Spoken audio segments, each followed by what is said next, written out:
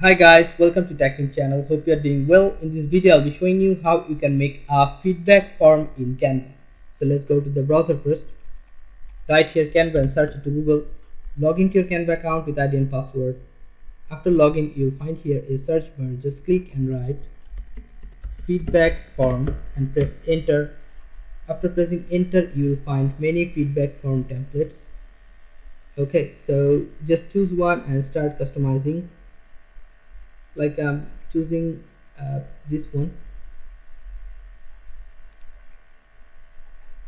Here's the product customer feedback form. If you like this template now if you want to customize this template go here customize this template.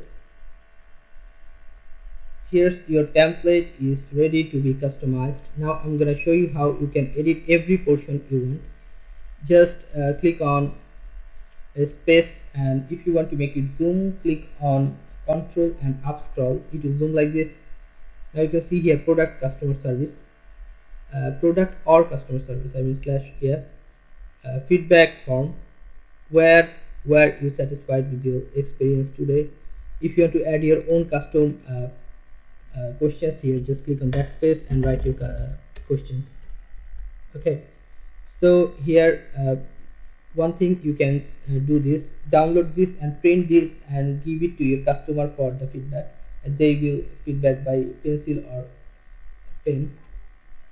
But if you want it digitally then you have to do is one thing. Going here would you recommend us to a friend or family member? Uh, yes or no. You can make it a tick here just going here. Elements right here tick tik and press enter. You'll find many ticks if you like this just click one. It will be in the middle. Then you have to drag it and make it small with the mouse. Then you can use it here. Okay. That's mean yes you like it. You recommend with your family. Uh, like this you can do every uh, did you find what you were looking for on the website? Yes or no? You can add it here. Like I showed you just click on this and it will be in the middle then you have to drag it here or here that's up to you. Okay so uh, after completing this you can do one more thing is changing the background color.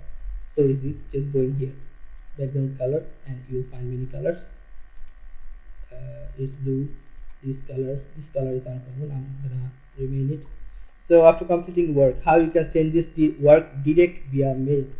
Go here share you will find here collaboration link click on this and you have to make it anyone with the link. Then you can see here people with access. Just write here the email address whom you want to share with. Now if you click on send this whole work will be sent to that email address. Okay guys so this is how you can make a um, feedback form in canva but i'm going to show you one more thing last. How you can download this. Just go here share uh, download and you'll find file type just click on this file type and start downloading here.